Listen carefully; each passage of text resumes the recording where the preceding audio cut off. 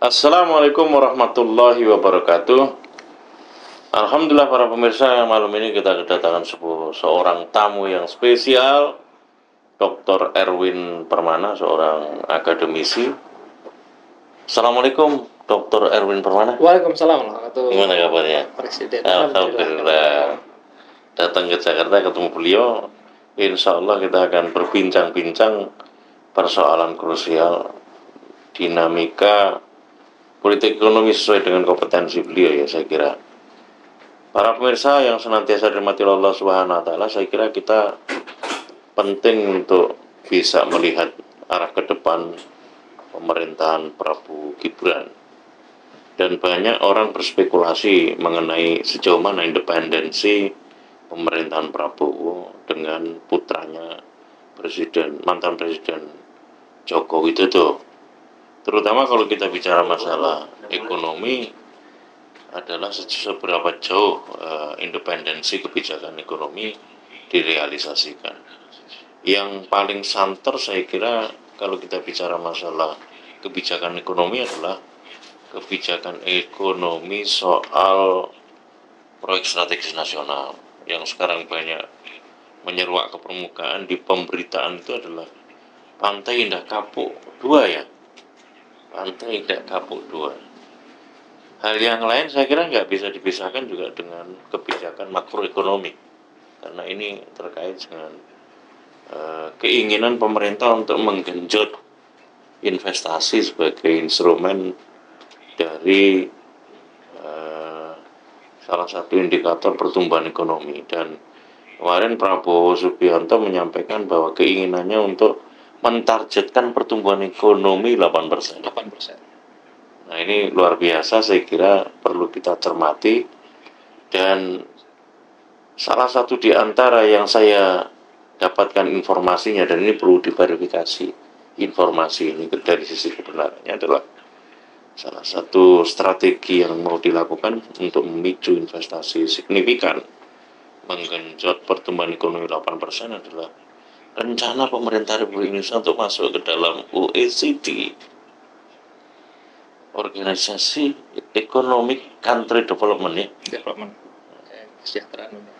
organisasi ekonomi negara-negara berkembang karena di situ disenyalir 80% GDP global atau dunia itu adalah negara-negara yang ada di dalam OECD ya bahasa Inggrisnya ini kurang tepat ini dokter Erwin Permada ini yang akan menjelaskan.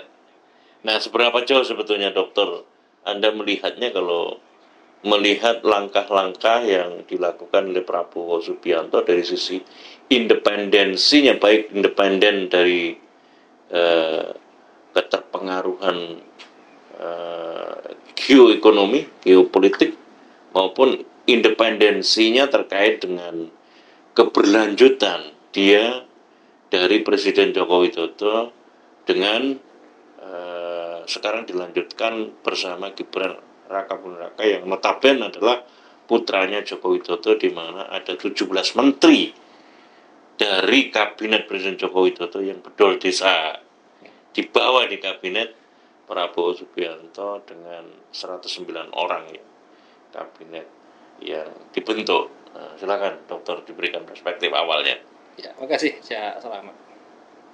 Eh, sebelum kita membahas lebih jauh berkaitan dengan akan seperti apa kabinet Prabowo ke depan itu dan apakah kemudian ini hanya kelanjutan saja dari yang sebelumnya sudah di eh, apa rezimnya Pak Jokowi Hmm. satu hal yang pasti adalah sekarang ini eh, Pak Prabowo itu itu ada beban di awal pemerintahannya.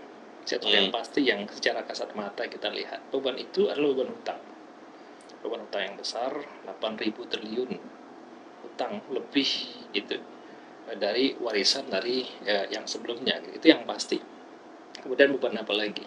Beban korupsi yang luar biasa ini heboh-heboh korupsi eh, eh, apa di Kominfo dan sebelum-sebelumnya juga begitu luar biasa kasus-kasus korupsi yang terjadi. Kemudian beban, beban apa lagi? Beban yang berkaitan dengan regulasi. Kita mengetahui sebelumnya betapa banyak regulasi-regulasi itu itu dibuat tidak melalui prosedur pembuatan perundang-undangan yang semestinya gitu ya Iya. jadi me- melewati hal itu semuanya gitu. nah ini Ada problem formil lah. ada Ya. problem formil selain juga problem-problem yang bersifat substantif gitu. ini persoalan di awal artinya Pak Prabowo sekarang melangkah dengan rezim barunya. Ini tidak berangkat dari nol tapi dari minus gitu. Ya ada beban yang harus dia selesaikan dulu. Karena orang untuk bisa melangkah itu dia harus selesaikan dulu nih bebannya. Baru kemudian dia bisa melangkah dengan enak gitu. Ya jadi di awal pemerintahnya Pak Prabowo kemudian ada persoalan-persoalan ada PR-PR yang harus dia tuntaskan. Ya tadi hutang terus kemudian berkaitan dengan korupsi. Ini masalah besar ini korupsi ini ya walaupun sekarang di mana-mana sudah terjadi korupsi dan seperti biasa saja. Bahaya sesuatu yang besar ya sesuatu yang extraordinary ordinary crime terus kemudian dianggap sebagai eh, kebiasaan yang menghiasi hari-hari kita. Ini bahaya nanti bangsa ini ke depan. Masifikasi pemberantasan korupsi yang sekarang ditunjukkan oleh beberapa yang ditangkap dan diproses oleh KPK seberapa jauh Anda melihatnya ini memang sebagai itikat untuk Betul, memang ada yang ditangkap, tapi nampak-nampaknya yang nggak ditangkap, ya Allah alam gitu angkanya. Wah, ada memang OT- eh, OTT, tapi justru kemudian trennya itu tren menurun, tidak sebagaimana sebelum-sebelumnya.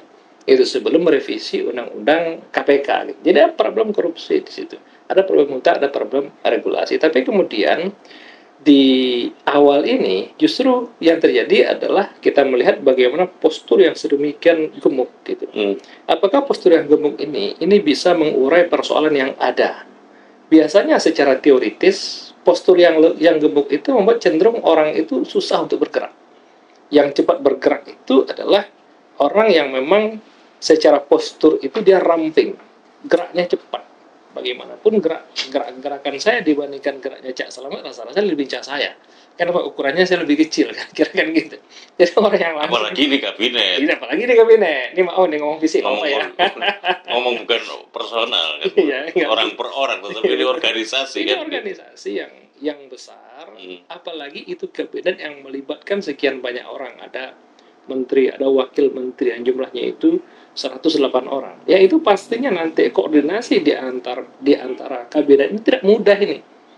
Artinya di awal-awal ini sibuk menata dulu ini setahun enam bulan setahun pertama lah karena nomenklaturnya pasti beda itu, berubah. berubah Ya paling enggak buat ngecor-coran di depan gan- ganti nama kementerian. ada lembaga non kementerian ada non jadi kementerian dari pusat sampai ke daerah Hmm, terus kemudian menata staf-stafnya terus dia mena- menata semuanya itu ya artinya berapa lama itu bisa selesai fokus internal dulu itu fokus pasti. internal dulu Hmm. enam bulan di awal itu kan begitu di tengah ada beban tadi saya katakan Hmm. terus kemudian belum lagi ke daerahnya gitu Hmm, jadi sebetulnya ada tantangannya menjadi double kalau menurut saya.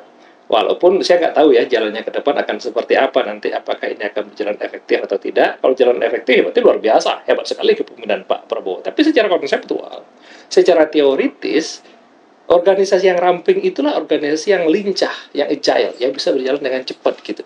Kita lihat saja, ada nggak sih negara di dunia ini yang memiliki postur kabinet segemuk di Indonesia? Kita katakan Indonesia negara yang besar, Amerika besar. Hmm. Apakah kabinetnya mencapai enggak 108 ramping orang? kan lebih ramping ya Jauh lebih ramping. India besar, China besar. Apakah kabinetnya besar Indonesia? Enggak. Jadi sebetulnya alasan untuk efektivitas kinerja, alasan supaya nanti bisa lebih berkinerja besar oleh teori ini dibantah. Oleh dalil ini nggak sejalan dengan dalil teoritis yang ada di kampus. Tapi se- sejak awal kan Prabowo sebetulnya menyampaikan bahwa kabinet ini adalah bagian dari proses rekonsiliasi politik yang dibangun gitu. Nah, sekarang pertanyaannya kalau rekonsiliasi politik itu sebetulnya kalau dibawa kepada konteks independensinya itu seberapa jauh sih? Karena ini kan kalau rekonsiliasi artinya kan mengakomodasi seluruh kepentingan yang ada ini. Dengan Saya- harapan ada sebuah kekuatan baru. begitu. agak sumir dengan istilah rekonsiliasi politik. Bukan rekonsiliasi politik, tapi rekonsiliasi di kalangan para elit sebetulnya. Hmm. Yang harusnya dibenahi sekarang itu adalah bagaimana kebutuhan masyarakat terpenuhi. Ini sibuk melakukan rekonsiliasi politik. Lah kapan kebijakan itu akan menyentuh misalnya masyarakat bawah? Kapan kebijakan itu akan mensejahterakan masyarakat, meningkatkan kesejahteraan masyarakat, memberikan mereka fasilitas layanan publik yang lebih bermutu gitu misalnya. Pendidikan yang gratis, kesehatan, dan seterusnya. Ini yang difikirkan justru bagaimana interaksi di kalangan elit. Ini agak kebalik. Mestinya ketika uh, yang difikirkan itu adalah bagaimana meningkatkan kesejahteraan di awal, jika artinya kabinet ini nanti akan mendapatkan support dari masyarakat. Ini yang penting. Supporting dari masyarakat ini yang penting. Akseptabilitas masyarakat. Yes, betul. Sebab memang itulah tujuan bernegara meningkatkan kesejahteraan umum, meningkat, apa dan seterusnya itu. Uh, mencerdaskan kehidupan bangsa dan begitu. Tapi tapi justru yang difikirkan itulah rekonsiliasi politiknya itu sifatnya itu rekonsiliasi sangat sangat sangat cair. Sekarang rekonsiliasi, besok bisa berantem lagi itu. Akhirnya kita nggak selesai selesai. Jadi istilah rekonsiliasi politik itu istilah yang nggak yang nggak yang nggak kunjung selesai itu. Jadi sekarang berteman, besok bisa ber, bisa ber, bisa musuhan lagi. Di Jakarta berteman partainya. Di luar Jakarta bisa berantem lagi. Jadi mana itu yang dimaksud dengan rekonsiliasi politik? Jadi oleh karena itu kita memang harus melihat uh, persoalan ini dengan sangat jernih dan juga dengan sangat cerdas gitu. Gak cukup hanya kita memikirkan orang yang ada di sekeliling kita, yang ada di belakang tembok sana tidak tidak difikirkan. Hmm. Ya akhirnya sibuk uh, ya jelas seperti uh, sekarang ini dengan alasan rekonsiliasi politik semua kemudian uh, apa dicoba untuk ditampung aspirasinya masuk semuanya ke dalam ke dalam kabinet ya bahkan mungkin ada isu kabinet itu tidak ada uh, oposisi, tapi bagaimana dengan masyarakat gitu?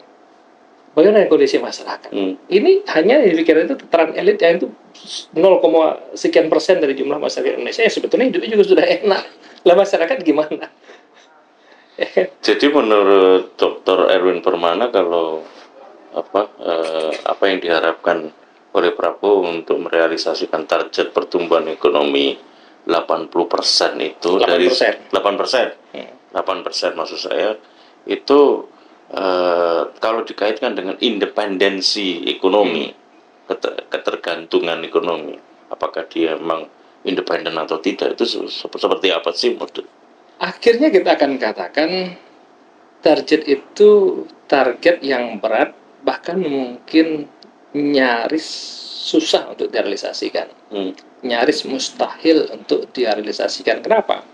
Karena tren sebelumnya sepanjang pemerintahan Pak Jokowi selama 10 tahun itu itu pertumbuhan ekonomi kisarannya di 5 persen 5,3, 5,2 gitu, 5,5 nggak pernah nggak pernah melampaui 6 persen nggak pernah. Itu tren. Ya tiba-tiba sekarang Pak Prabowo menjanjikan 8 persen. Padahal dengan menggunakan instrumen regulasi yang sama menggunakan orang-orang yang sama itu sama saja dengan kita menjanjikan mobil yang biasa berkecepatan 50 dengan menggunakan sopir yang sama ya bajai yang biasa kecepatan 50 ya besok ke, bajai ini kecepatannya 80 gitu kan mustahil ya dengan menggunakan instrumen yang sama dengan menggunakan orang-orang yang sama dengan menggunakan uh, apa uh, sopir bajai yang sama gitu ya kan nanti akan bekerja untuk merealisasikan capaian itu kan pasti kementerian-kementerian teknis Pak Prabowo itu kan helikopter view sebagai pengambil kebijakan di pusat. Dia memfasilitasi dengan kebijakan. Yang akan bekerja siapa? Di kementerian-kementerian teknis, kementerian keuangan, terus kemudian kementerian perdagangan, hmm. kementerian industri, hmm. kementerian perkebunan dan segala macam. Hmm. Itu nanti akan bekerja kementerian investasi gitu. Hmm. Lah yang kalau kita lihat postur orang-orang lebih kurang sama hmm. dengan instrumen uh, regulasi yang sama. Hmm. Itu maka ini nyaris mustahil untuk kemudian direalisasikan itu akan sangat berat untuk merealisasikan uh, 8%. Prediksi saya bertahan di angka 5,5% saja itu sudah bagus itu. Instrumen regulasi yang ada tetapi kemarin Pak Prabowo itu menyampaikan Dr. Erwin Ke mana bahwa instruksi kepada Menteri Hukum untuk melakukan review terhadap regulasi produk perundang-undangan dalam bentuk undang-undang atau produk peraturan dalam bentuk undang-undang yang ada di bawahnya di bawah undang-undang untuk bisa memastikan campaign terhadap uh, kemandirian pangan, kemandirian energi, hilir, hilirisasi dan persoalan lahan itu bisa selesai. Seberapa jauh itu bisa dilakukan dan saya kira itu nanti kan berpikirnya lintas sektoral karena betul, terkait betul, dengan betul. implementasi kebijakan ya, kementerian betul. teknis yang antum hmm. tadi sebutkan. Secara secara step-step yang ditempuh itu saya kira satu step yang positif Hmm. ya yakni memang ketika mengawali sebuah kebijakan itu memang diawali dari regulasinya dulu sebagai payung hukum untuk kemudian bisa mengambil kebijakan lebih jauh dan juga mengeksekusi di lapangan gitu. Nah, hanya saja memang ketika sekarang ini e, menata regulasi ini ini memang harus lebih e, hati-hati. Hmm. Kenapa saya katakan sudah sebegitu banyak kepentingan-kepentingan politik di situ, sudah sedemikian banyak kepentingan-kepentingan oligarki di situ. Nah, pertanyaannya adalah seberapa tangguh nanti ya eh, rezim ini untuk tidak membawa kepentingan-kepentingan yang ada di belakang itu gitu. Ya, kalau ada kepentingan, kalau masih ada terselip kepentingan-kepentingan oligarki di situ, itu akan sama saja nanti, hanya ganti baju saja dia ya di satu regulasi kemudian regulasi yang lain. Antum melihatnya secara anatomi kepentingan oligarki itu seberapa jauh sebetulnya memberikan pengaruh cengkraman terhadap independensi Prabowo Subianto dari sisi kebijakan ekonomi, dokter.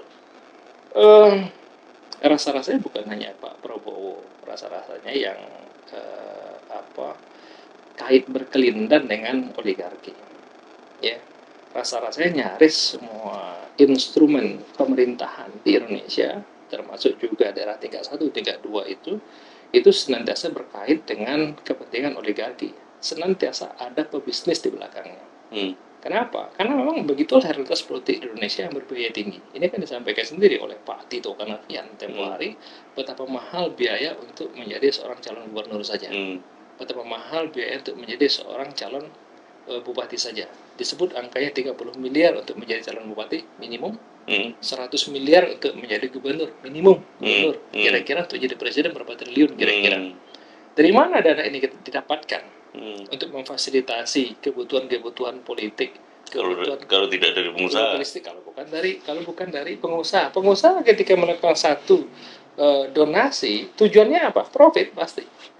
apalagi kalau calon penguasa penguasa eh, pengusahanya adalah pengusaha yang penguasa. Apalagi memang yang pengusaha yang pengusaha itu adalah memang dia penguasa juga. Penguasa itu adalah dia pengusaha juga gitu. karena kebutuhan logistiknya lu besar. Kebutuhan logistiknya sangat besar ya untuk memenangkan satu kontestasi tentu kan luar biasa. Hmm. Ya, ya kebutuhan logistiknya, saksinya, terus kemudian eh, apa para pakarnya dan segala macamnya itu itu luar biasa biaya. Dari mana duitnya kalau bukan dari para oligarki? Jadi ju- Jadi justru nggak rasional ketika seseorang itu maju dengan incumbent itu kemudian tanpa ada dukungan dari eh, oligarki. Ya, Gitu. Itu ada di rasionalitasnya justru itu. itu kalau di, di tingkat lokal nasional dokter. Hmm. Kalau kita tarik di tingkat global, di mana kemarin kan lawatan Prabowo eh, ke Xi Jinping dan diberikan sense untuk apa bantuan makan gratis oleh Republik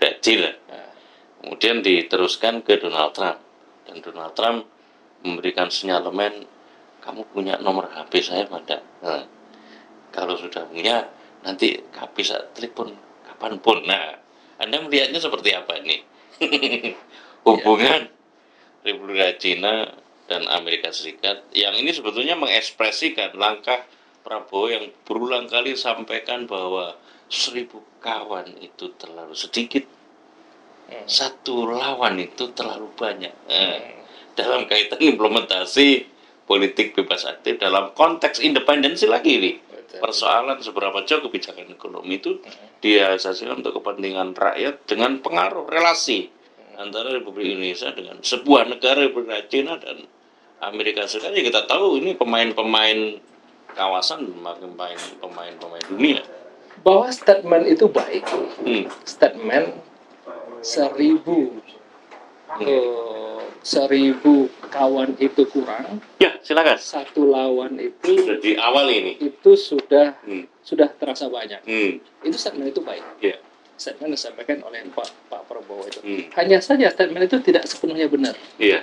Tidak sepenuhnya benar. Hmm. kenapa? Karena kadangkala kita justru harus menjadi lawan kejahatan Alhamdulillah. Assalamualaikum kita kehadiran saudara kita Pakai acara kelewat tadi rute. Ustadz Edi Mulyadi tapi saya sering menyapa Bang Edi Mulyadi Siap. lebih akrab begitu. Dok, Beliau siap, ini siap. Ustadz di Jawa Timur. ya silakan lanjut dokter. Iya. Jadi statement itu Hmm. bagus, Iya. tapi tidak sepenuhnya benar. Iya, Kenapa? Karena dalam hidup ini senantiasa ada yang namanya kebaikan, kejahatan. iya, Senantiasa adanya eh, kemungkaran dengan yang hak kan begitu. iya, Nah, karena itu sebetulnya kita hidup ini nggak melulu kita harus berteman dengan siapa pun. hmm, Kalau kita tidak berteman dengan siap dengan siapa pun, artinya kita nggak punya prinsip. iya, Dengan orang baik kita berteman, dengan orang jahat pun kita berteman. hmm, Akhirnya kita diakal-akalin ke mana pun angin bertiup kita ikut ke situ gitu. hmm, Itu orang yang tidak punya prinsip. Orang nggak punya prinsip itu orang yang bingung. Bahaya sekali ketika seseorang itu dia apalagi kemudian misalnya sebagai seorang pemimpin nggak punya prinsip, justru dia harus berdiri tegak di atas kebenaran. iya, Itu itulah pentingnya seorang pemimpin itu harus memiliki satu ideologi sebagai satu kompas bagi dia.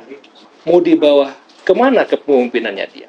Arah kepemimpinan ini mau di- dibawa ke mana gitu? Iya. sehingga enggak melulu tepat ketika dia katakan satu teman itu eh, seribu teman itu. Seribu kawan. Seribu kawan itu. Terlalu sedikit, terlalu sedikit. Satu lawan itu satu terlalu lawan itu banyak. terlalu banyak. Itu enggak enggak selamanya. Benar Hmm. gitu. Ketika misalnya sudah terbukti hari-hari ini misalnya eh, betapa konspirasi-konspirasi yang dilakukan oleh global misal terhadap Indonesia atau misal berkaitan dengan eh, Amerika dengan semua investasinya di Indonesia. Ya yang kita kenal dengan neo imperialisme neo liberalisme terus kemudian berkaitan dengan berbagai macam undang-undang yang itu juga merupakan titipan di di kalangan para pengusaha-pengusaha asing yang sama sekali tidak memberikan keuntungan kepada masyarakat Indonesia itu ini kita justru harus tegak ini mau dibawa ke mana ini? Apakah kemudian negeri yang sedemikian besar ini memang difasilitasi untuk para oligarki itu, oligarki asing itu, atau bagaimana? Atau kemudian kita harus memiliki satu prinsip yang jelas yang pada akhirnya nggak bisa nggak harus bersinggungan gitu, tidak bisa tidak. Sebab bagaimanapun memang tidak bisa disatukan antara yang salah dengan yang benar. Nggak bisa disatukan. Yang benar ini harus muncul harus mengemuka dan harus menjadi pemenang pada akhir. Kapan dia menjadi pemenang kalau kita nggak usung sebagai sebuah, sebuah sebagai sebuah kebenaran gitu. iya betul. Ya, alhamdulillah kita ketemu dengan Bang Edi Mulyadi. ya, eh, sebetulnya yang saya tanyakan tadi konteksnya adalah kelanjutan apa yang dilakukan oleh Presiden Joko Widodo dalam konteks kesepakatan dia dengan Xi Jinping Hmm. untuk menanyakan independensi Prabowo dari sisi relasi antara Indonesia dengan negara-negara yang punya pengaruh global di antaranya adalah Amerika Serikat dan RRC. Kita tahu sebelumnya Jokowi itu sudah meletakkan kerjasama dengan Xi Jinping dan melahirkan dua protokol kerjasama, satu rencana aksi kerjasama dan lima nota kesepahaman kerjasama. Hmm. April 2024 Prabowo menindaklanjuti apa yang telah dilakukan oleh Prof. Pak Jokowi yang saat itu jadi presiden, dia Menteri Pertahanan. Lalu secara simbolik kemarin ketika pelantikan Wapres eh, Cina itu diterima oleh Wapres Gibran. Nah saya, saya kira saya ke Bang Edi Mulyadi Iya, dulu dokter ya terima kasih. saya kira yang ramai sekarang itu adalah menakar seberapa jauh sebetulnya atau adakah informasi dari perspektif media ya dinamika independensi Prabowo kalau melihat tinggalan tadi itu yang Dr. Erwin Permana sampaikan betapa mulainya Prabowo itu dari negatif legacy yang telah ditinggalkan loh Ya. Jokowi yang paling santer sekarang adalah soal proyek strategis nasional Pantai Indah Kapuk 2 kan begitu.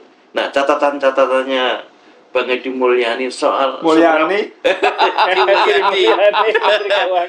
Karena saya terpengaruh oleh beliau punya buku Ah, yang ditulis oleh beliau Sri Mulyani Hmm. Neolib silakan silakan catatan apa Iya. dia Oke, bismillah. Bismillahirrahmanirrahim. Assalamualaikum warahmatullahi wabarakatuh. Waalaikumsalam warahmatullahi wabarakatuh Alhamdulillah.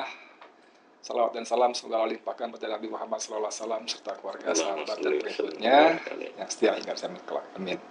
Mohon maaf ya, saya Iya. itu memang telat, tapi nggak setelat ini karena saya kelewat. terus balik lagi udah Puter balik lagi. Astagfirullahaladzim. Aki-aki udah malam juga. Biasa kan siang itu di di di trotoar tuh sepi. Kalau malam tuh banyak ini apa kuliner malam. Jadi kita keganggu tenda-tenda. Terus lewat deh jauh. Oke, mohon maaf. Iya. Eh, emang menarik tadi kalau Cak Selamat Iya. mengatakan bahwa Prabowo dimulai dengan legacy yang negatif. iya Itu itu start. hmm. Kalau sebelum startnya lebih ngeri lagi. Apa itu? Dimulai dengan kemenangan yang curang. Oh, ya dokter ya, ya dokter ya. Jadi memang, tapi gini loh, itu udah cerita lama, udah selesai semua, dan saya termasuk berkali-kali yang mengatakan saya dipaksa dan terpaksa harus berhusnuzon hmm. pada Prabowo Subianto. Walaupun pasti saya tidak termasuk yang memilih kan gitu kan, apalagi beliau saya nggak termasuk yang memilih. Sudah jelas preferensi politiknya. Udah ya, tapi oke lah, dia udah dilantik, dia presiden kita. Nah, karena itu yang bisa kami dan saya lakukan adalah berharap. Hmm. Makanya di la- kelanjutan atau harapan, independen Hmm. atau harapan gitu ya. Harapan. Karena berharap pertama Prabowo apa bu- bu- tidak sama dengan Jokowi. Kedua Prabowo bukan pelanjut Jokowi. Dan yang paling penting Prabowo harus jadi antitesanya Jokowi. Tapi sejak dia mulai eh, terpilih, kemudian dia sowan ke Xi Jinping, ingat kan? Belum dilantik loh itu loh Iya, iya. iya. belum dilantik dia sudah ke sana dan istana sibuk menjelaskan bahwa dia datang sebagai menteri pertahanan Hmm. saya bilang mustahil lah Pak urusannya presiden RRC mengundang menteri pertahanan kan gitu kan Hmm. dalam persepsi saya dan banyak teman-teman yang sepakat ini pasti lapor bos saya sudah saya sudah terpilih kan gitu kan karena dia belum belum dilantik loh walaupun kita lihat emblemnya udah emblem emblem emblem itu terus bukan emblem menteri lagi deh emblem Oh, presiden ini terus sebelum lawatan ya berarti. Sebelum jauh sebelum Jauh sebelum sebelum. 20 Oktober bahkan. Hmm. Jadi kalau Cak Selamat tadi bilang dia mulai dengan legacy negatif di Jokowi, bahkan sebelumnya Hmm. dari prosesnya itu kan kita tahu dari menelikung apa eh, MK kemudian bansos segala macam. Oke, Tapi oke lah semuanya udah oke kita sekarang kita lihat dilantik. Tapi harapan-harapan itu menjadi semakin susah dipertahankan rasa apa husnuzon tadi ketika dia mulai memanggil orang-orang yang konon katanya akan menjadi menteri, wakil menteri dan Iya. juga apa namanya eh, kepala badan Stafsus. stafsus segala macam 17 menterinya Jokowi diangkut lagi. Hmm. Padahal sebagian besar adalah bermasalah bahkan senior kita Bang Abdullah Hemahua mantan penasihat KPK itu dengan tegas mengatakan 90% menterinya kabinet Jokowi Prabowo Gibran itu koruptor kan gila kan? 90%. iya, bukan pasti gampang, Google-nya gampang. 90% kata Bang Abdullah Hemahua. Nah, tapi eh, selalu saya ber ber ber, ber berhusnuzonnya ah ini mungkin menteri-menteri ini karena dia terpaksa nanti begini sekian bulan akan resapel segala macam selalu berpositif thinking nanti strategi bla bla bla bla sampai kemarin dia berkunjung ke lawatannya pertama ke Cina Hmm. dan itu ada beberapa kesepakatan dan ke- kesepakatan nomor 9 ini dikritisi oleh banyak pihak Iya. termasuk ahli hukum laut Profesor Hikmanto Juwono Iya, iya, iya. iya. itu menulis bagaimana dalam kesepakatan yang mene- merenegosiasikan Hmm, hmm, hmm, hmm. ya yang dulu 9 dash line itu ada Hmm. 9 sekarang ada 10 bahkan 10 garis putus versi RRC Hmm, hmm. di Laut Cina Selatan Hmm. yang zaman Menko Maritimnya Rizal Ramli sudah diganti menjadi Laut Natuna Utara Iya. itu ada setuju untuk pembahasan overlapping claim Hmm. Padahal dokumen UNCLOS itu menyebutkan tidak mengenal nine dan nine, nine dash dash line line. atau dash line tadi nggak Hmm. dikenal karena itu memang wilayah Indonesia. Saya ingat ketika saya masih mendampingi Rizal Ramli sebagai Menko dalam rapat-rapat interdepartemental itu Rizal Ramli dengan tegas mengatakan tidak ada perundingan. Hmm. Ini wilayah kita.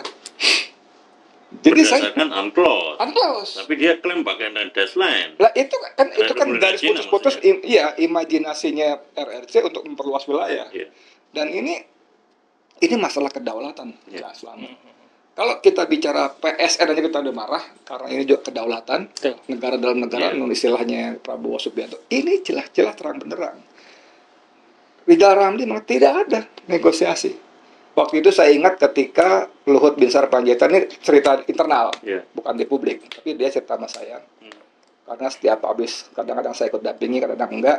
Setiap habis rapat kabinet, dia kumpulin stafnya, dia cerita begini, begini, begini. Dan ketika cerita soal Susi Pujiastuti yang marah-marah menenggelamkan banyak kapal itu, kapal ikan itu, Hmm. dan dalam rapat kabinet, Luhut Binsar Panjaitan waktu itu masih Menko Polhukam, Hmm. Itu mengusulkan agar ada hak eksklusif diberikan hak eksklusif kepada RRC untuk bersama mengelola la- laut Laut Cina Selatan itu. tuna eh, Karena tuna Natuna Utara itu karena itu ikannya luar biasa banyak. Hmm. Nanti tingkat laut tinggal bagaimana kesepakatan 55 45 atau bagaimana gitu. Dan itu sudah Itu laut setuju. saja, belum kepulauannya. Ya itu ini ya apa namanya eh, hasil hasil hasil lautnya, Hasil laut. terutama ikan. Hmm. Dan waktu itu Raja Lami cerita sama kami bahwa itu sudah hampir ketok palu. Hmm. Sudah hampir ketok palu. Jokowi udah manggut-manggut, Susi marah-marah gitu kan, tapi kalah kan. Susi Pujastuti, Ah, mau Ma'ruf Amin apalagi ya, lakalah marah salam gitu ya. Dan Raja Lami angkat tangan, dijelaskan, ini wilayah kita. Kenapa kita masih bagi-bagi? Ini tuna kita, ikan kita. Kenapa kita masih bagi-bagi? Lagi pula kalau kita berikan hak eksklusif pengelolaan ekonomi kepada Cina, nanti Filipina, Jepang, segala macam akan ngiri. Kok Cina dikasih kita enggak? Dia bilang gitu. Hmm. Yang kedua, kalau ini kita biarkan begitu, nanti nelayan-nelayan Cina bukan cuma melaut, dia akan bawa keluarganya menempati pulau-pulau sekitar itu. Siapa yang bisa jaga? Siapa yang bisa jamin? Nanti mereka beranak pinak. Ini masalah kedaulatan. Wah, udah hampir setuju. Tiba-tiba itu itu buyar nggak jadi. Nah kembali ke soal yang tadi ya barusan ini. Saya ingat kata-kata tokoh sosialis kita, Tan Malaka. Tan Malaka itu kata-kata yang terkenalnya, tuan rumah tidak pernah berunding dengan maling yang akan menjarah rumahnya. Ini rumah kita, bos. Ini ada maling mau menjarah. Lalu Prabowo tekan, yuk kita berunding. Enggak, ini pagar gua, ini rumah gua, lu pergi. Itu yang penting. Jadi kalau Tan Malaka sudah mengatakan, tuan rumah tidak pernah berunding dengan maling yang akan menjarah rumahnya. Itu penting sekali untuk diingat oleh Prabowo Subianto. Apalagi dia seorang jenderal yang harusnya punya patriotisme, nasionalisme.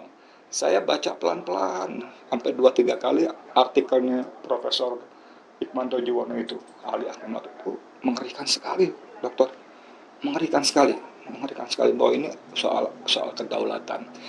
Terus Prof. Juwono juga mengatakan bahwa kalau ini dilakukan perundingan ulang, maka Malaysia, Singapura, Filipina itu akan marah-marah pada kita karena akan mempengaruhi apa area di situ.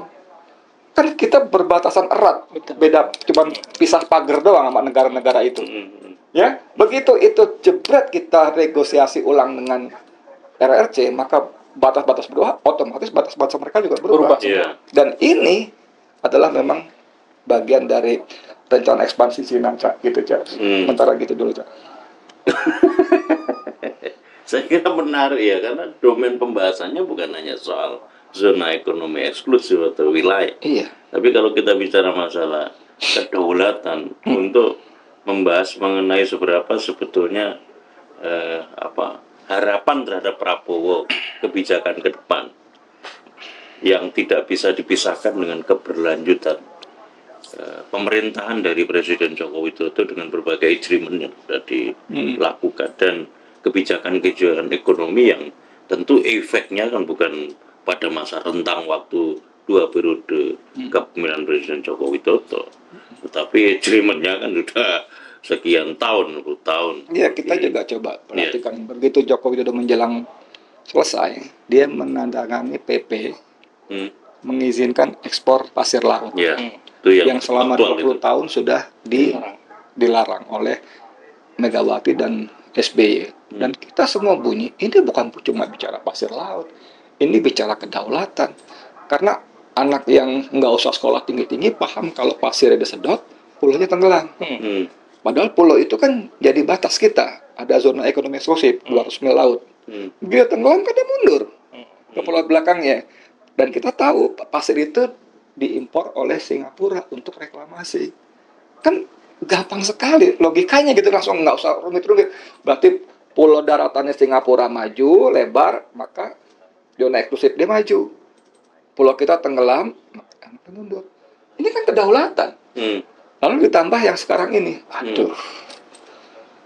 Saya nggak ngerti nih.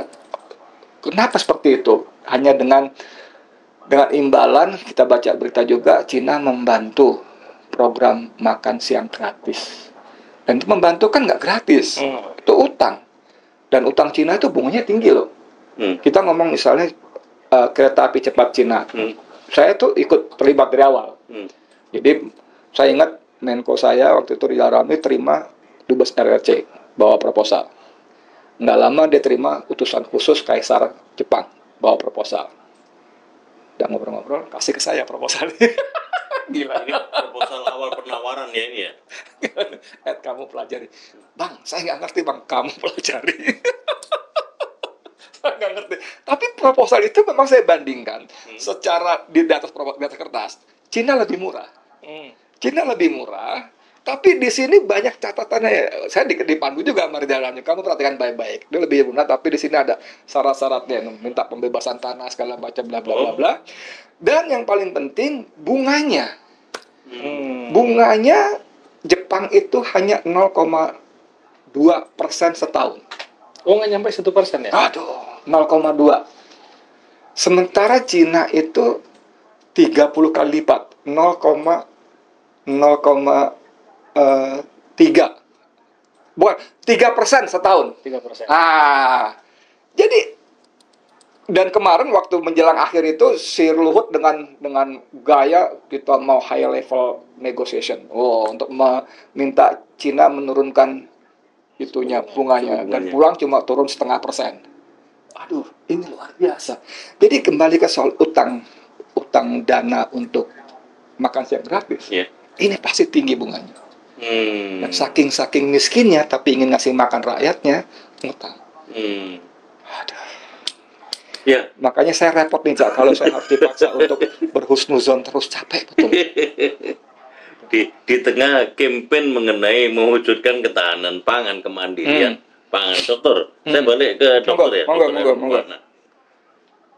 Dengan kondisi tren hutang yang apa di antaranya dari Republik Cina yang confirm Bang Edi Mulyadi sampaikan bahwa bunganya tinggi. Betul. dan uh, Anda tadi menjelaskan mengenai kondisi hutang kita, harapan 8% pertumbuhan ekonomi. Dari sisi apa semuanya ini kondisinya seberapa jauh sih sebetulnya? Itu bisa dikelola secara baik dan memang ada harapan untuk mewujudkan apa, kepentingan rakyat dengan pilihan kebijakan ekonomi existing sekarang. Iya. Saya kira bijak Cak Selamat mengatakan ada harapan. Karena agak kurang elok kalau dikatakan sebagai sebuah hayalan gitu. bahasa bahasa ngobrol mimpi, Eh, bahasa ngobrol mimpi gitu ya. bahasa lembut. Ternyata dari Surabaya ada yang lembut juga. Saya kira bakal ngomong hayalan. Kenapa? Karena sudah sedemikian complicated berbagai macam Iya. persoalan yang memang tidak mendukung ke arah sana. Ketika misalnya hutang 8.000 triliun Hmm. lebih gitu ya, Hmm. 8.000, 8.400 Tembus, tembus. Hmm. 8.400an sekarang angkanya itu. Dengan bunga misalnya eh, tiga persen saja, Hmm. ya tiga persen aja, Hmm. tiga persen dari 8.000 triliun, ya udah 240 40 triliun. triliun, itu baru bunganya aja, belum pokok utangnya. Iya. Artinya nggak kurang Kak. kita dari 400-500 triliun untuk bayar hutang tok itu, hutang plus bunga hutang Setiap tahun, hampir, Iya, tahun. hampir seribu. tiap tahun ada yang mengatakan 800 800 triliun kita pakai pakai gaya lembutnya lah 500 triliun untuk bayar hutang tok yang harusnya bisa digunakan untuk bangun universitas, Ya. membangun UMKM berapa UMKM yang Ya. bisa hidup, bisa membangun subsidi pendidikan. Iya. Ya. Di tengah hari ini kita pajak juga sudah berlaku kan? Ya, pajak 12%. 12 persen. 12% ya. TPN. Udah, udah mulai ya. Artinya pajak, pajak itu itu merupakan cost beban bagi masyarakat gitu. Hmm. Ketika ada beban bagi masyarakat, artinya perputaran ekonomi itu nanti akan melemah. Ketika ekonomi enggak terjadi perputaran ekonomi yang lemah, di mana pertumbuhan ekonomi? Kan pertumbuhan ekonomi itu akan meningkat ketika ada demand, ada permintaan, ada perputaran ekonomi. Betul. Ekonomi mutar, industri mutar, industri mutar banyak penyerapan lapangan pekerjaan, begitu terus gitu. Iya. Nah sekarang ketika ada beban pajak di awal, Hmm. justru beban berat bagi masyarakat untuk jajan, untuk meminta demand, meminta permintaan itu itu nggak ada gitu. Sehingga nggak akan ada ekspansi industri. Kenapa? Karena demandnya memang sedikit. Di tengah ekonomi kalangan menengah sekarang itu juga mantap kan makan tabungan. Mantap. mereka nggak berat kehidupan mereka gitu kalangan menengah turun ke bawah boro-boro naik ke atas yang pertumbuhan ekonomi kan menaikkan kelas bawah ke kelas menengah kelas menengah ke kelas atas itu namanya ekonomi tumbuh secara berkualitas Hmm. sekarang terjadi justru, justru realitasnya enggak justru yang kalangan menengah itu yang turun ke bawah kalangan bawah jadi apa mereka Hmm. gitu nah, jadi itulah yang kita katakan bahwa memang nyaris eh, mustahil. Apalagi kemudian tadi wacana berkaitan dengan eh, apa kemandirian eh, pangan. Secara secara li- realitas sekarang ini apakah memungkinkan kita mewujudkan kemandirian pangan? Ketika setiap tahun konversi lahan pertanian kita itu itu berkurang 100.000 hektar setiap tahun. Untuk pembangunan infrastruktur, untuk perumahan, dan itu merupakan kawasan-kawasan pertanian yang produktif. Dan itu sebelum ada PIK 2. Itu sebelum Oh. PIK 2 itu Karena sudah PIK terjadi. 2 sendiri udah 100, 100 ribu Hmm, hektar. berarti udah Walaupun- kejadian ini. Walaupun alokasi penunjukan cuma 1.756 hektar. Hmm. Tapi dengan merambah sampai 9 kecamatan di Kabupaten Tangerang bagian utara, saya didu menghitung bisa tembus 100 ribu hektar. Hmm. Iya, luar biasa. Gitu. Jadi kita tidak melihat yang dulu kita masih melihat di kawasan eh, Karawang, Purwakarta, Garut, Sumedang segala macam itu kawasan padi yang hijau. Iya. Sekarang mana? Udah ditanamin industri semua kan? Jadi kapan kita mau kemandirian pangan gitu? Di Jawa Tengah yang dulu ter- terkenal sebagai sentra pertanian Surabaya, masih ada nggak Surabaya? Eh, kawa- padi-padi yang kita lihat itu udah nggak ada gitu. Saya dapat informasi dari Prof. Widi dan ini tolong ya diverifikasi eh, kebenarannya. PIK itu sampai 10 katanya. 11. Oh sampai 11. Persiapan 11. Itu apa implikasinya? Saya, saya, saya. Ini masih menarik soal tadi sebetulnya. Iya, iya, iya. Ini terlalu loncat-loncat ya, terlalu semangat ya. Atau diteruskan dulu? Iya, Dokter, iya. silakan, dokter. Masih menarik ya. Iya. Jadi masih jauh sebetulnya harapan kita untuk kemandirian pangan. Itu kita Iya. bicara beras ya. Iya. Apakah ketika bicara kemandirian pangan itu ya makanan, Hmm. bukan hanya beras, ada proteinnya di situ. Ada kecu Berarti kecukupan nggak mandiri dong nanti makan gratisnya. Mentang- mandiri pangan. mandiri. Makan Itu belum, siangnya belum mungkin ngomong terwujud. mafia pangan itu. Makan siangnya mungkin bisa jadi akan berusaha untuk diwujudkan. Nggak tahu walaupun angkanya berkurang terus sih dari berapa unitnya ya Iya, dari berkurang. dari 15 ribu 15, jadi berapa berkurang, jadi berkurang, berkurang, berkurang, berkurang. Akhirnya makan kecil nasi kucing, Nasi kucing. nasi kucing dengan telur puyuh satu. Akhirnya gitu, bukan telur ayam tapi telur puyuh. iya iya Gitu. iya. Akhirnya itu memang mungkin akan diwujudkan, tapi namanya itu janji politik ya kita bagaimana realistis. Tapi kan secara substantif itu kan tidak menjawab persoalan kita Iya, iya. berkaitan dengan kemandirian pangan. Iya. Yang tadi dari ya kemandirian berasnya, Hmm. nasinya, juga kemandirian oh, proteinnya Hmm. ya sapi ya ayam ya unggas segala macam itu gitu ya jadi jadi masih sangat jauh lah harapan kita berkaitan dengan kemandirian eh, pangan pada itu basis basis yang paling mendasar bagi kita untuk kuat di industri yang pangannya harus kuat dulu apa artinya nanti kita membangun kawasan industri itu sebetulnya juga bukan punya kita tapi pertanian kita juga hancur lebur gitu Iya.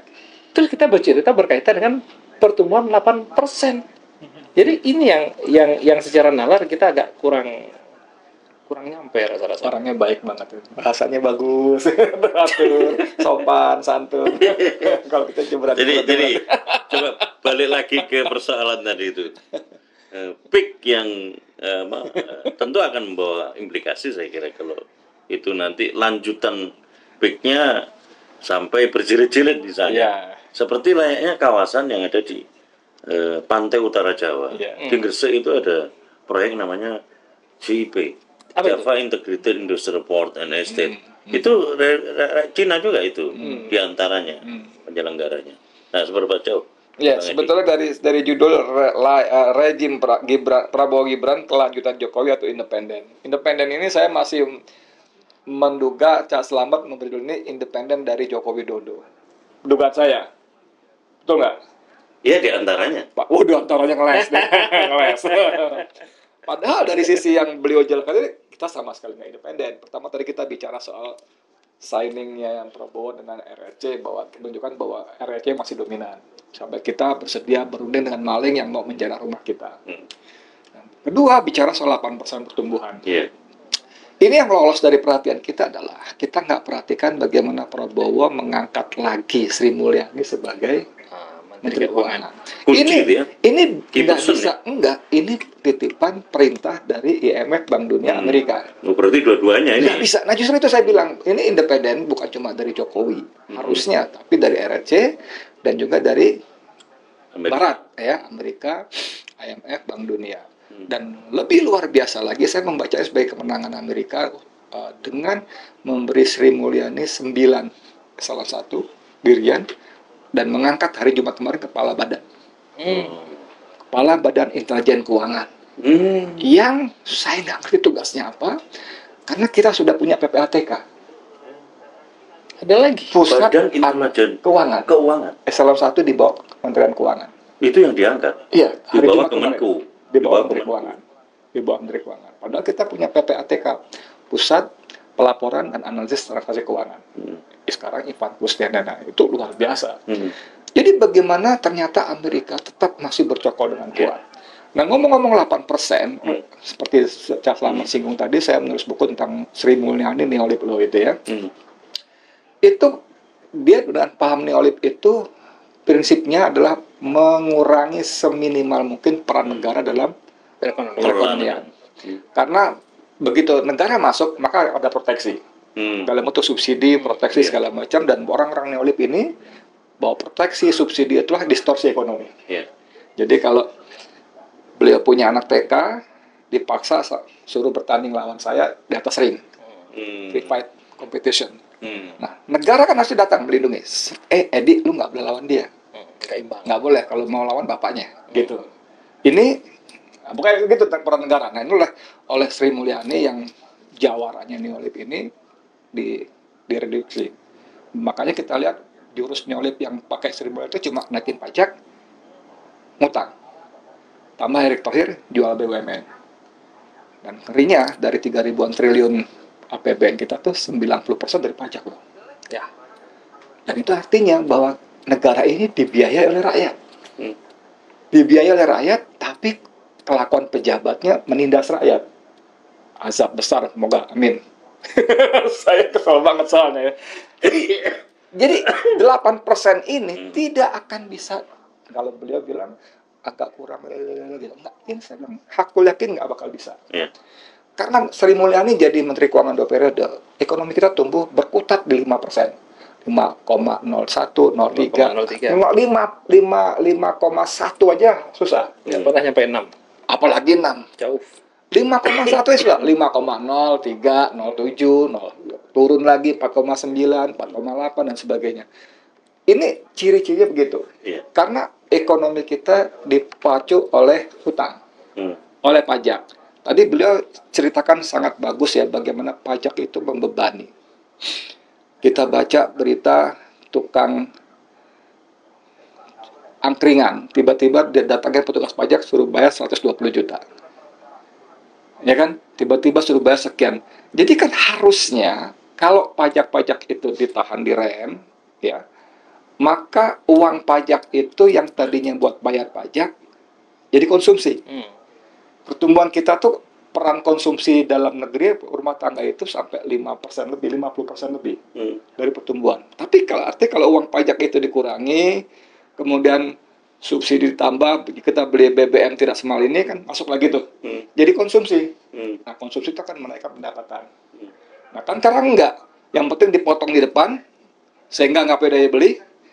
Kalau nggak pede beli, sampean mau investasi bikin sepatu, ntar yang beli siapa ya? Sepatu gua. Hmm. Ya, seperti beliau tadi bilang berputar terus akhirnya semakin lama makin apa istilahnya konstruksi makin siut Hmm. Pertumbuhan 8% itu mimpi Iya. kalau belum hayalan Iya. yang sudah dikoreksi jangan terlalu hayalan ya itu mimpi Cak. Iya. Tapi apa sih urgensinya tadi Badan Intelijen Keuangan dibahas sebagai sebuah keniscayaan apa eh, pengembangan atau pengelolaan organisasi kan bisa dikomunikasikan publik seperti itu kan itu bagian dari reorganisasi dalam tubuh Kemenku untuk bisa merealisasikan fungsi yang lebih optimal itu ideal Kementerian Keuangan sebagaimana yang direpresentasikan oleh Prabowo membangun apa eh, kabinetnya yang gemuk dan gemuk Cak, jangankan kita ngomong urgensi topoksi badan intelijen keuangan keuangan ini ada satu kementerian pecah jadi tiga. pendidikan Iya. PUPR tiga.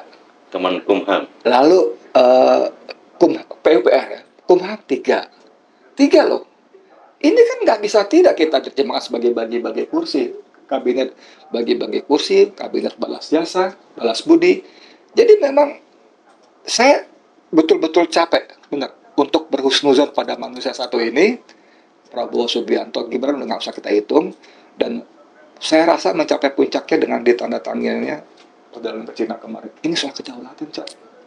Nggak ada kalau dia cuma internal Jokowi segala macam, oke lah orang-orang bilang ini strategi strategi, strategi Prabowo nanti sekian bulan akan begini akan strategi strategi strategi. Tapi kali ini udah kedaulatan. Iya dokter, dokter. harapan kan beliau sampaikan harapan tadi, harapan Prabowo untuk merealisasikan kebijakan yang independen kan begitu. Kalau Dr. Erwin Permana sendiri melihatnya apa yang diperlukan oleh Prabowo sebagai bentuk effort dia bisa merealisasikan apa pro, pro- apa program pengelolaan kebijakannya itu benar-benar bisa independen dan seberapa kemungkinannya dengan melihat apa eh, sistem dan rejim gestur rejim yang sekarang ini ada. Ya, tidak bisa tidak kalau perubahan itu ya memang dengan dengan eh, ganti orang dengan mindset yang berbeda pada akhirnya. Ketika misalnya masih perubahan tapi dengan orang yang sama, ya itu rasanya nggak nggak mungkin ada perubahan di situ.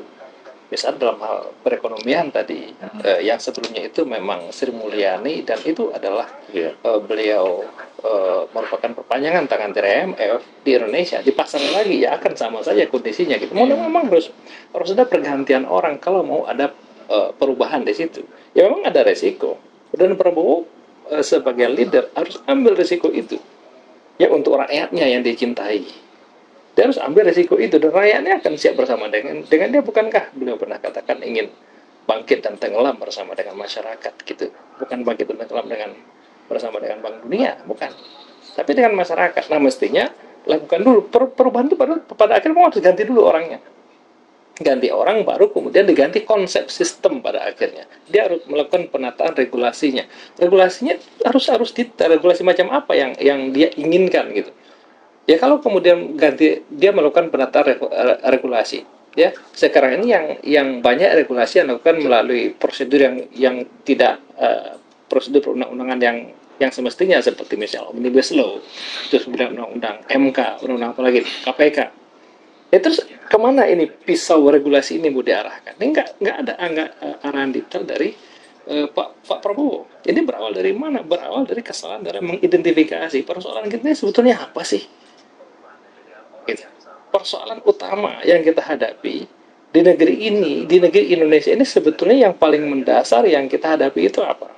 Mestinya ini dulu yang harus dipecahkan gitu bahwa ketika kita sudah bersepakat berkaitan dengan persoalannya apa baru kemudian kita secara bersama-sama mengatasi persoalan ini yang menjadi penyakit bagi masyarakat Indonesia. Apa persoalannya? Per- permasalahan kita ini karena terapkannya kapitalisme. Neolib. Itu persoalan utama kita. Yang pajak yang besar. Ya kan itu berakar dari situ gitu. Terus kemudian berkaitan dengan ketimpangan pendapatan kaya miskin gap kaya miskin yang luar biasa terus kemudian bagaimana politik itu kemudian dikuasai oleh oligarki. Ini kan tata kelola ala kapitalis ini. Nah ini harus kemudian secara bersama-sama disadari dulu. Tanpa kesadaran ke arah sana maka janji politik semacam apa pun rasa-rasanya kita patut untuk pesimis. Iya iya iya.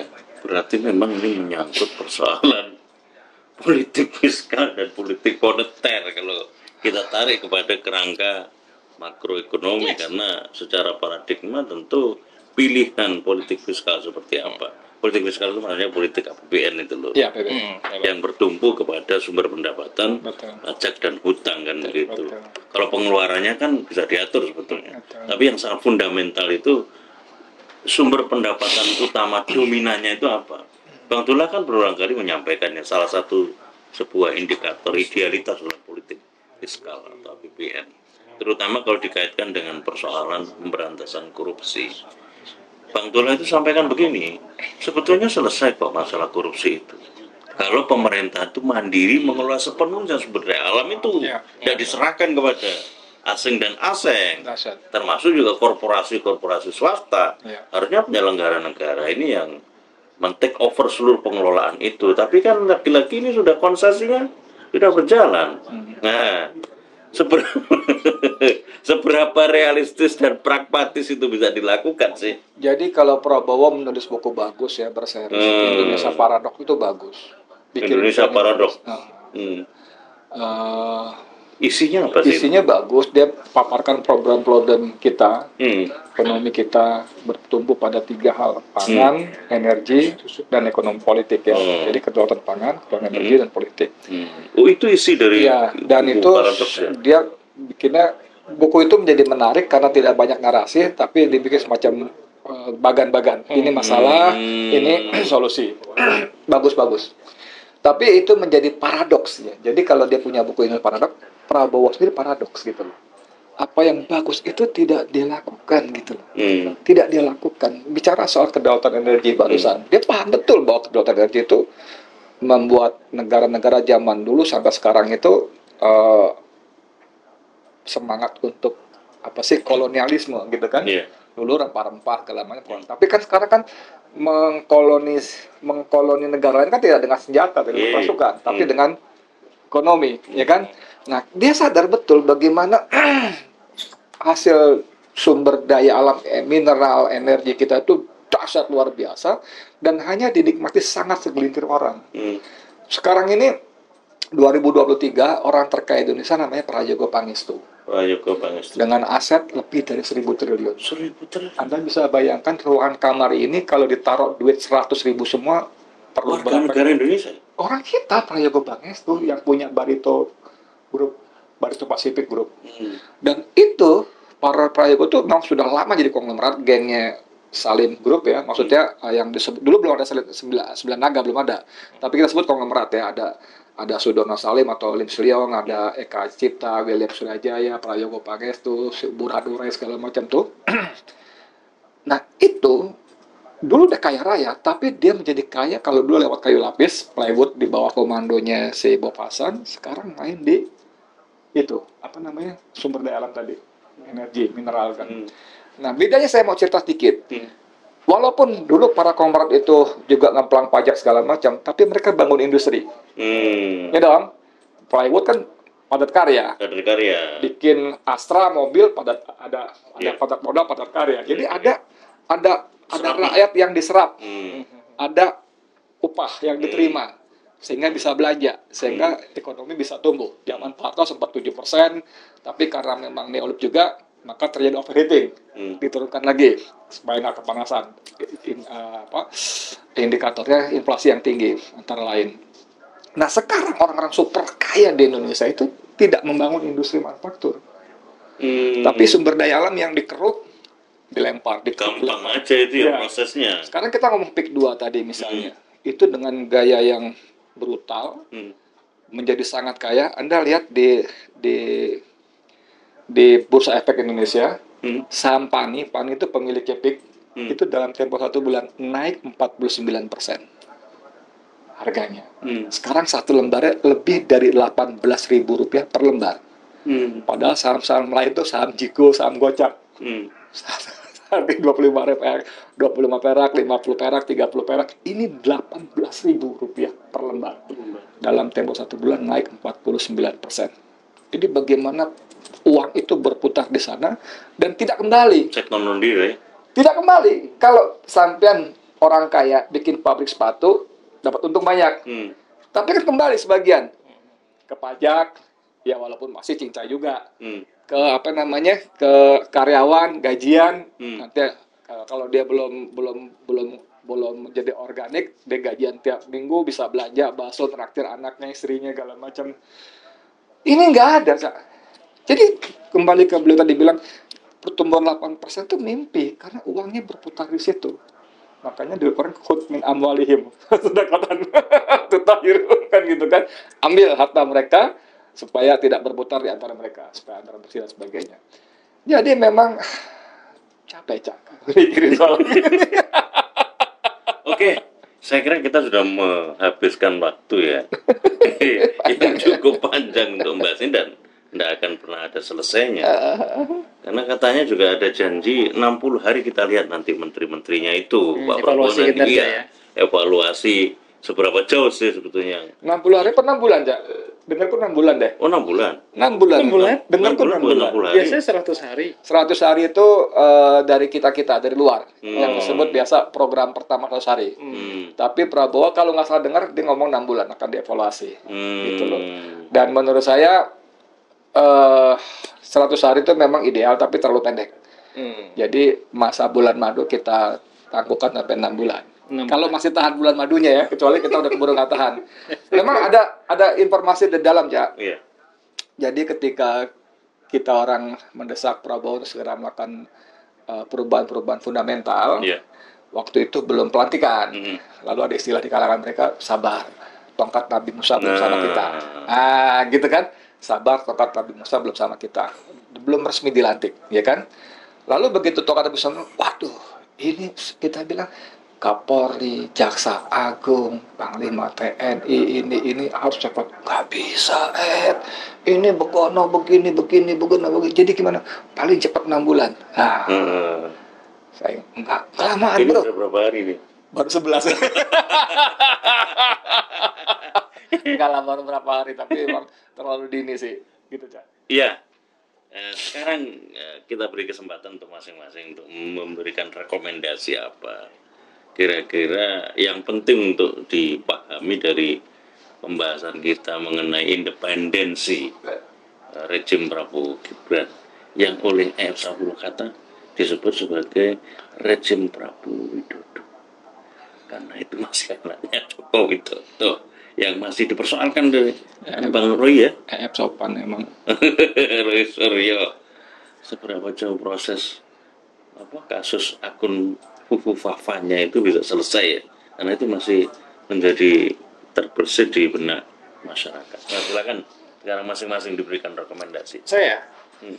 em, independensinya pertama eh, kalau rezim sebelumnya rezim Jokowi itu tidak independen ya tidak independen dari modal asing dari oligarki dari China dan segala macam itu maka kalau sekarang ada istilah Prabowo Widodo ya berarti lebih kayak independen itu logikanya gitu.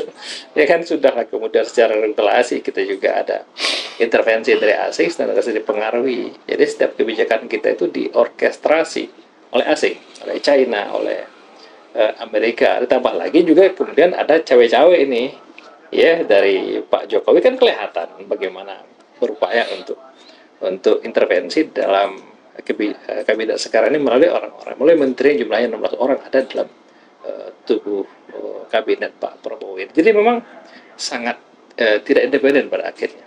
Ya, itu yang terlihat secara kasat mata oleh kita. Oleh karena itu bicara independensi itu pada akhirnya memang berawal dari independensi, independensi gagasan memang berawal dari situ berawal dari independensi gagasan karena kalau sudah secara gagasan saya kita udah disetir udah didikte pada akhirnya pada tataran langkah pada tataran kebijakan kebijakan. pada tataran eh, apa pun yang akan dikerjakan akan lebih di, di, disetir lagi. Iya. maka minimum kita secara pemikiran harus harus, Harus independen independen. dulu gitu.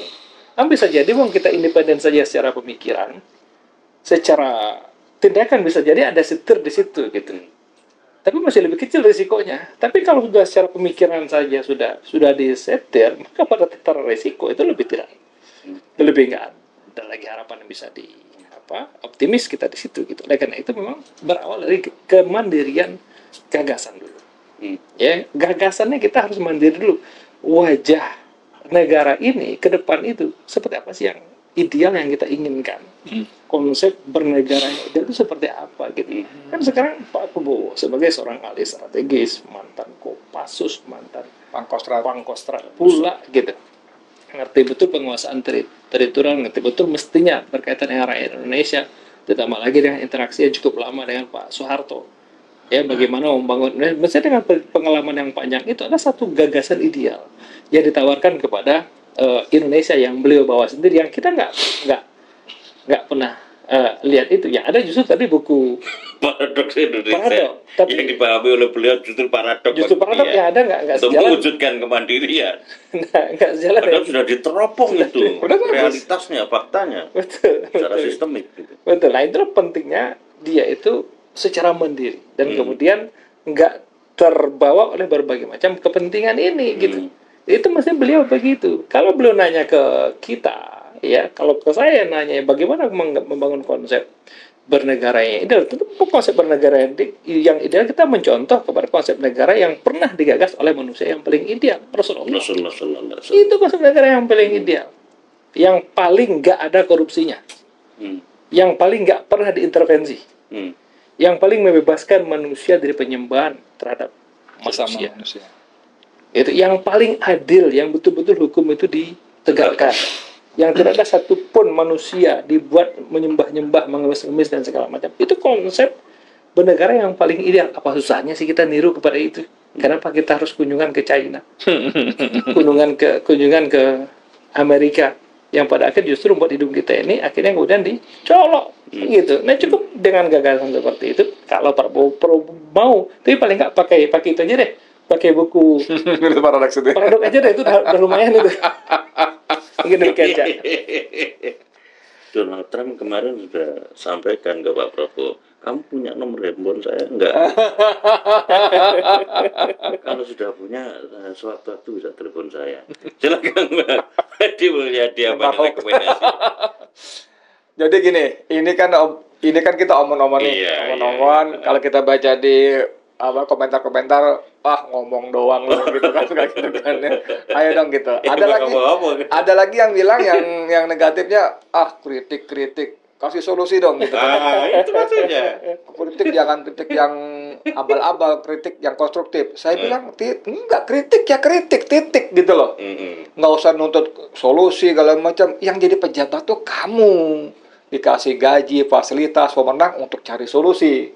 Kalau kita rakyat disuruh solusi, ya tukeran aja kita pejabat kamu ini rakyat gitu.